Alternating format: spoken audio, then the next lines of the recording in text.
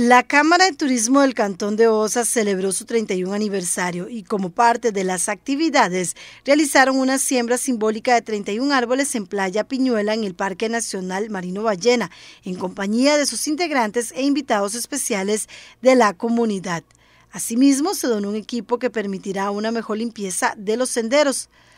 Además, develaron una placa como homenaje a la memoria de Dagmar Reinhardt una entusiasta promotora turística de las bellezas del Cantón de Osa. En el acto de celebración estuvo presente William Rodríguez, ministro de Turismo, quien fue nombrado como socio honorario de la Cámara de Turismo de Osa, Costa Rica, por sus aportes a la actividad turística de la zona.